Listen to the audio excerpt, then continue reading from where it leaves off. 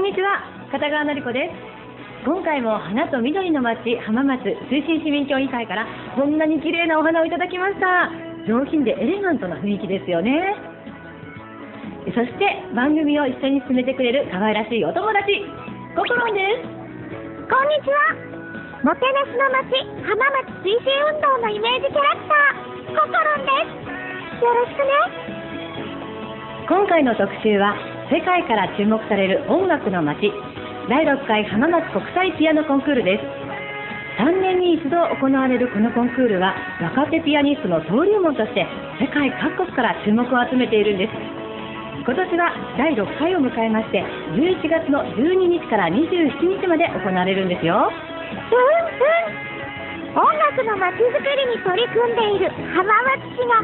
世界へ発信する国際的なイベントなんだよ。そうなんです。浜松国際ピアノコンクール過去5回の歴史とその様子をまとめてありますのでご覧ください。1991年浜松市政80周年を記念し国際的な文化事業としてスタートした浜松国際ピアノコンクールは若手ピアニストの育成と音楽文化の振興そして国際交流の推進を目的に以後3年ごとに開催されてきました。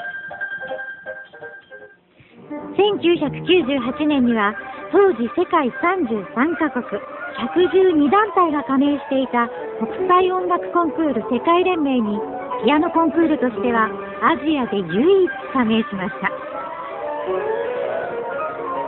回を重ねるごとに世界中にその名が知られ前回2003年はアメリカ、ロシア、フランス、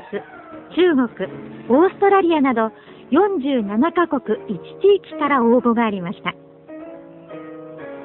そして書類審査とオーディションを経て出場した人のおよそ半数は世界の国際コンクールでの入賞経験者でした。また浜松国際ピアノコンクールでこれまで入賞した人はその後世界の名だたるコンクールで相次いで優勝や入賞を果たしています。2000年の第4回で2位となった上原綾子さんは2002年チャイコフスキー国際ピアノコンクールピアノ部門で女性としてまた日本人として初めて第1位という快挙を遂げました。そして2003年の第5回で最高位だったロシアのアレクサンダー・コブリンさんは2005年のバンクライバーン国際ピアノコンクールで第1位に。また同じく最高位ポーランドのラファウ・ブレハッチさんは昨年のショパン国際ピアノコンクールで第1位に輝きました。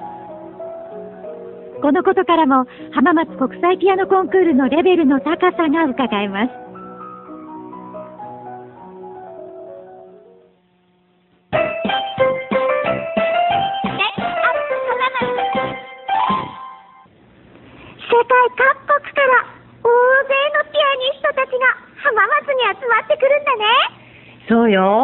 年の第6回大会では申し込み者数が39カ国、1地域から268人。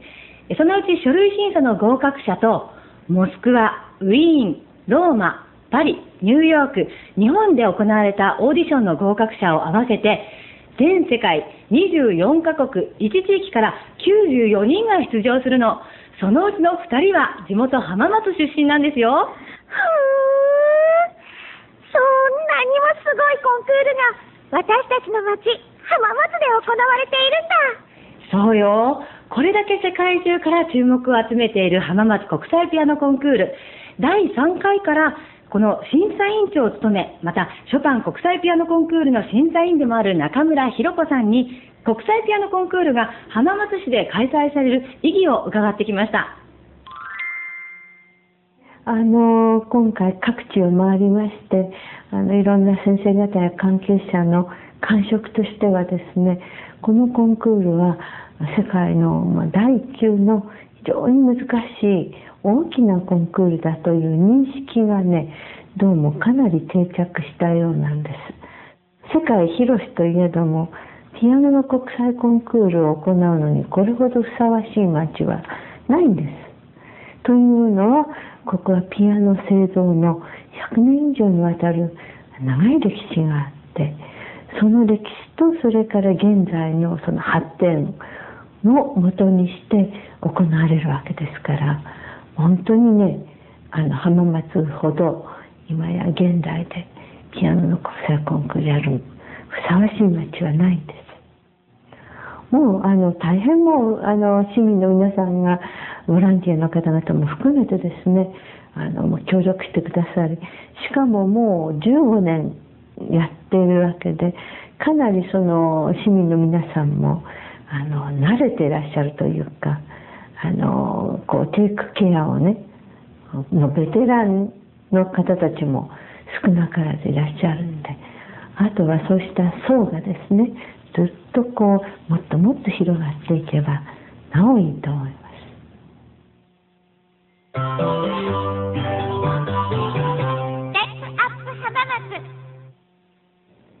スタジオには浜松国際ピアノコンクール事務局の島田敦さんにお越しいただいています。島田さん、お願いいたします。お願いいたします。いよいよ11月12日から第一次予選がスタートしますが、今回もレベルの高いコンクールになりそうですね。そうですね。あの、出場者の約半数がですね、あの、世界で著名なコンクールで入賞歴を持っておりまして、うん、えー、そういった面からも本当に非常に高い、非常に高いですね。あの、コンクールになりそうです。そうですね。楽しみですね。はい、この一次予選の前には海外オーディションも行われたそうですね。はい、海外の5カ所でオーディションを行ってきたんですけれども、あの、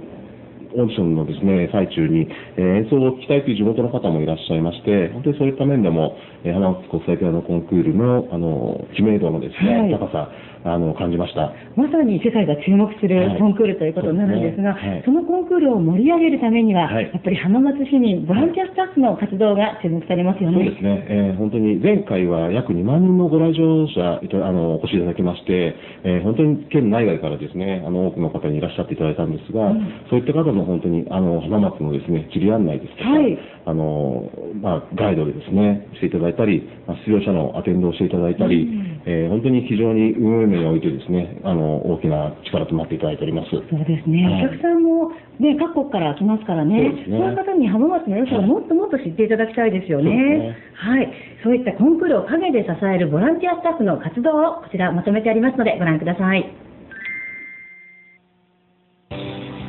浜松国際ピアノコンクールでは多くのボランティアの方々が大切な仕事になっています。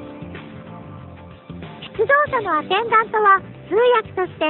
出場者の出迎えから始まり出場受付演奏会場への付き添いなどを行いますホールスタッフは来場者への会場案内やコンクールの情報提供また期間中に発行される広報誌の配布などが主な仕事です。その他にもフォアスタッフといってコンクールで演奏する出場者の楽譜の準備やタイムキーパーなどを行う仕事もあるんだよ。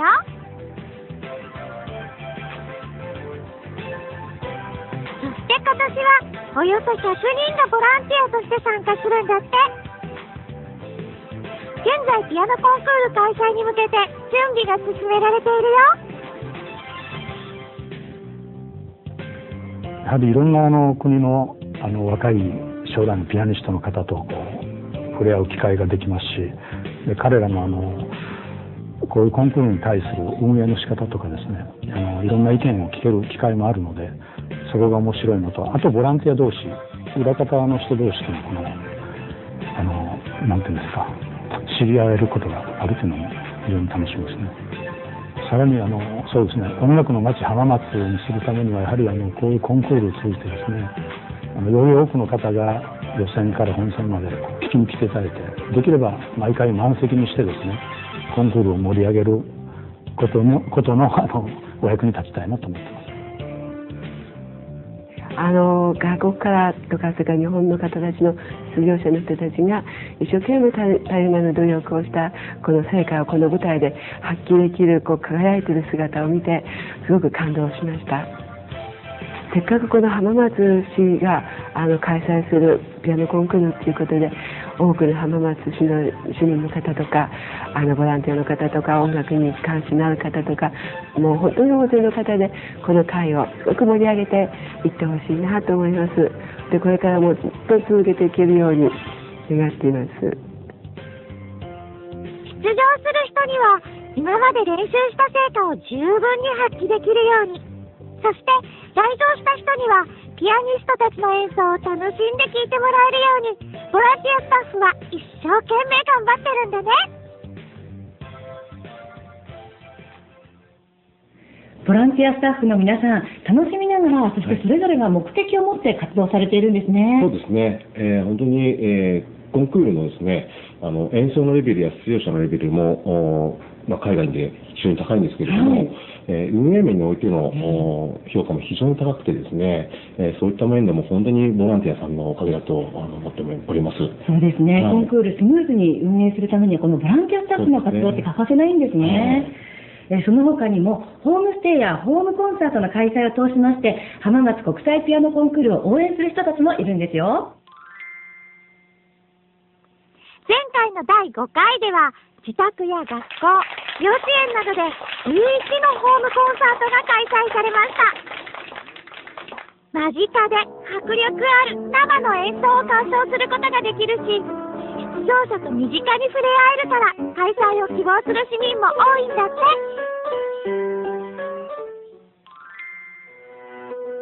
前回第5回の浜松国際ピアノコンクールに出場したロシアのコンスタンチン・スホメッキーさん。彼のホームステイ先、金子はるみさん宅でホームコンサートが開催されました。これは出場者と市民の交流を深めようと企画されたものなんだよ。私の友達があのグランドピアノが眠っているもんですからね、えーと、それを知っていてあのいい、えーとホームステイとそれとホームコンサートを一緒になったのがあるけどやってみないかってね勧められたんですクラシックは私もあの全然クラシックっていうのに縁がなかったんですね、まあ、こんなに身近にあの聞いたことはもちろん初めてですしもうあの演奏している姿を見るっていうのも楽しいなと思いました。ですのでそのコンサートの間も本当にあの時間がねすぐ経っちゃったですね。あのお料理するって聞いたらやるっていうもんですからごますってもらったりもうとにかく日本料理であのおもてなししたいなと思ったんですね。で何が食べれないって聞いたら何でも食べれるっていうことだったもんですからとにかく日本料理をと思いましてあの煮物とか焼き魚とかもう簡単にすぐできるものをしたんですけどね。そういうふうになんていうかホームステイとかっていうことででまた国の違う方を受け入れて、えー、何か本当にあのプロのあピアニスト芸術家なんだけど他の時には本当一人の青年であの自分の息子と本当に同じ年ぐらいだもんですからね余計に自分の子供のような感じであの接してとっても本当楽しかったです。帰った時には本当ねみんなでなんだか寂しくてポキッとしてしまいましたね。思い出深い。そして素敵な出会いになったみたいだね。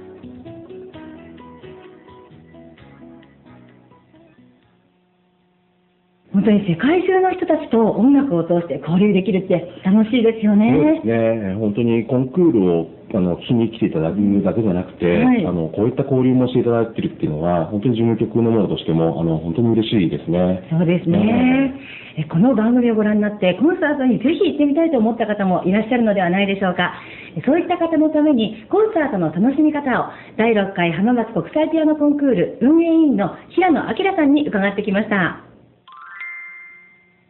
平野先生、これから浜松国際ピアノコンクールに出かけようという方に、楽しみ方のアドバイスを教えていただきたいんですが。そうですね。まあ、あの、コンクールですけれども、実は演奏会と思っていただくのが一番いいと思うんですよね。あの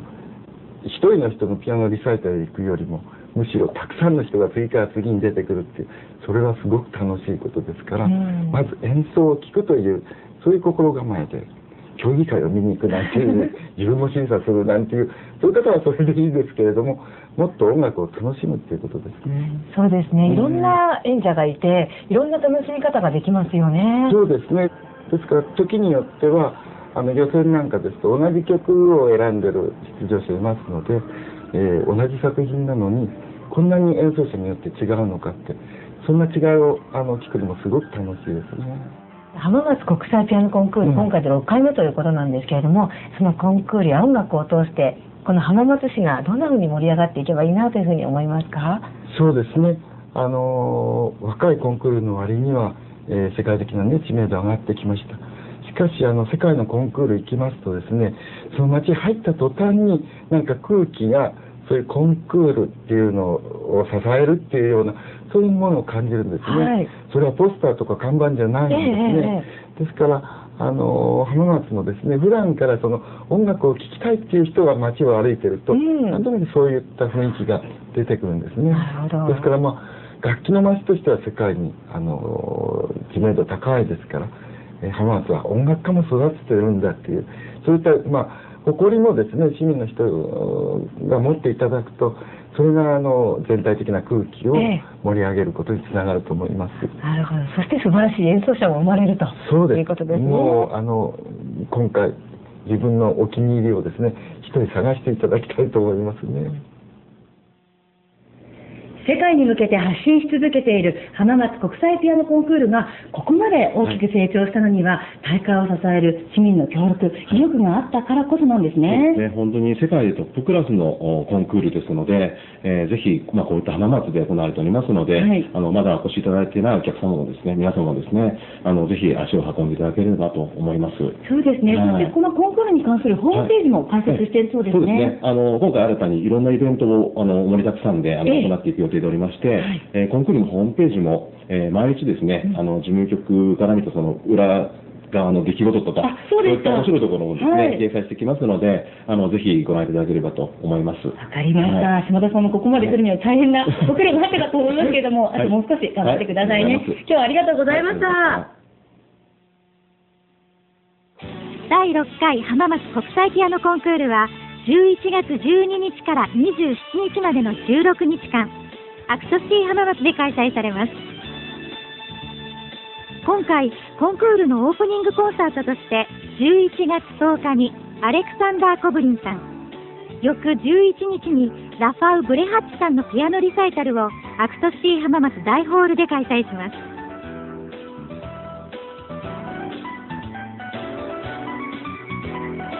そして第一次予選は12日から16日まで行われ、翌17日から19日までは二次予選、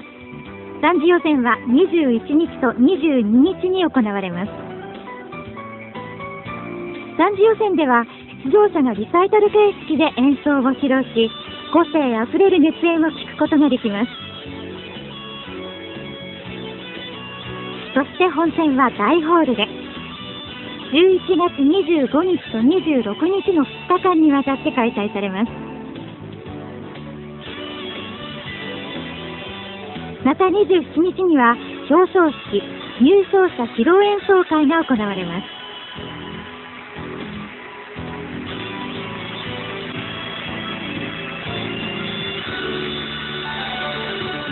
そして今回は一人でも多くの方にピアノコンクールでの演奏を楽しんでもらえるよう、アクトシティコングレスセンターの大型スクリーンで予選の模様を中継し、無料で観覧することができます。その他、インターネットによる動画配信も行われ、コンクールの様子を見ることができます。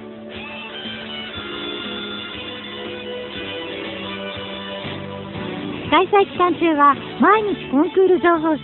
ザ・浜松をアクトシティ浜松や駅周辺で無料配布します。出場者の顔ぶれやコメント、コンクールの予選、本戦の結果、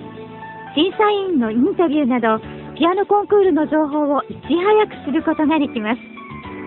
ぜひお楽しみください。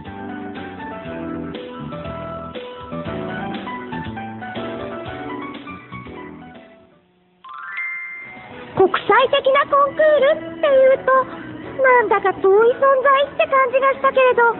私たちにとっては身近で、そして気軽に世界レベルの音楽に触れ合えるチャンスだよね。